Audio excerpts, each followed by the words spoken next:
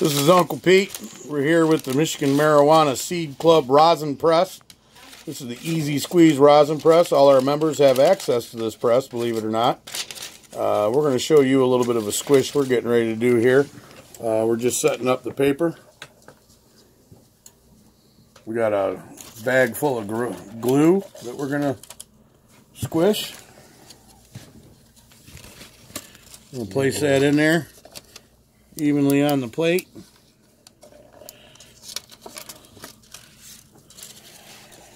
All right, guys, ready to We've got everything set up up top here.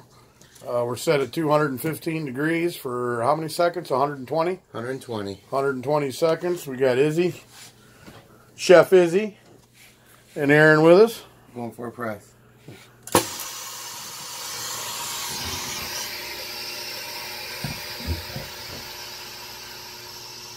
Love watching that. that motion? I don't know, maybe again.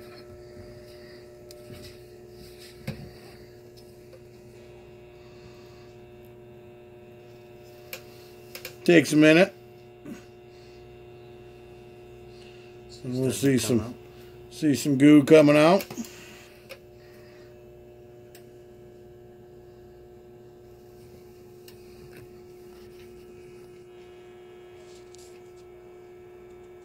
There it is coming out. Horrible video guy here.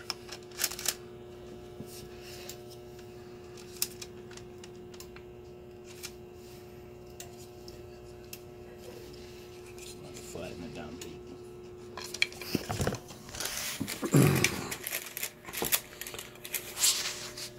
If you want to look right down through here, you can see it coming out on top of the paper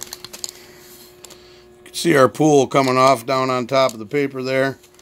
We use a ruler to pull it down with a little bit. Get my finger out in front of the lens, that helps.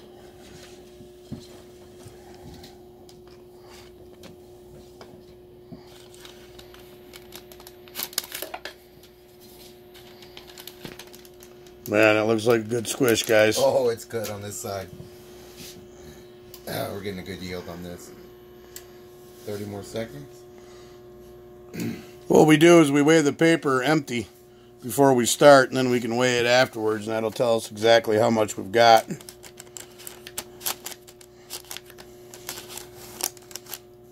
Nice.